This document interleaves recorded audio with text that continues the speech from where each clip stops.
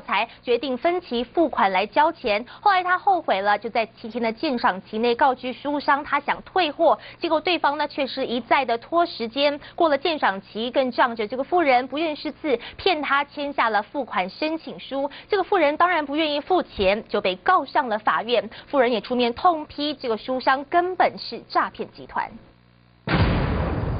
儿童书籍装了整整三大箱就摆在地上，明明有在七天鉴赏期内要求退货，但都已经过了将近一年，书还摆在原地。这边看到您是在去年做订购的部分，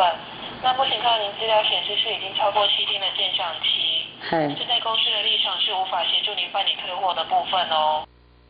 去年十一月，陈姓妇人在书展上被推销买书，决定分期付款缴钱，隔天就有打电话告知书商要退货，对方却表示权限不够。不能决定是否退货，在鉴赏期内一再拖延时间。十二月初，业者到家中拜访，仗着富人不识字，要他签分期付款放弃书，没想到签的却是付款申请书。一个月后，富人收到存证信函，被要求付款，才惊觉自己受骗上当。骗人呐！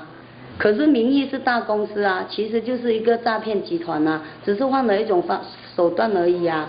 怎么说？不止如此，业者还疑似伪造文书，正本合约上明明只有一个签名，副本却多出诚信妇人的名字，明显就是伪造的。花大钱买书却被告上法院，幸好法官判决诚信妇人胜诉，还给他一个公道。那因为这部分的话，我要先去做一个查询的部分。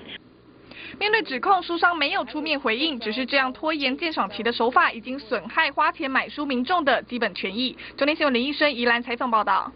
屏东一名陈姓高中生和一群村内同伴跑到东。